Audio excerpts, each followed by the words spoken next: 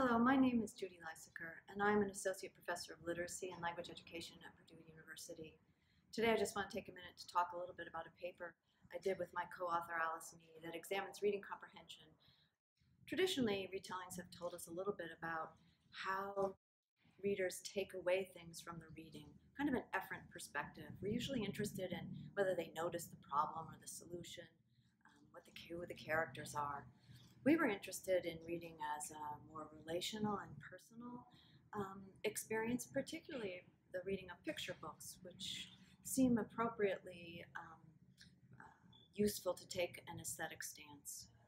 So in this study, we used a qualitative um, case study approach to examine comprehending activity with one fourth graders unaided and illustration aided retellings of the other side. Our participant, John's retelling demonstrated his relational involvement in the story world.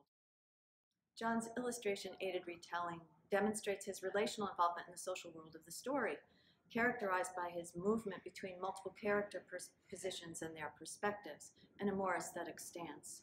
Often, in fact, he becomes the character in the story.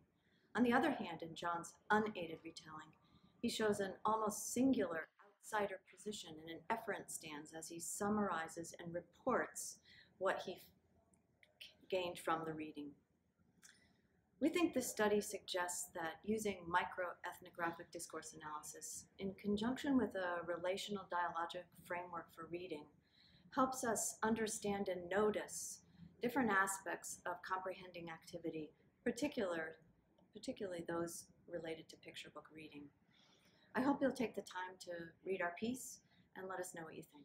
Thank you.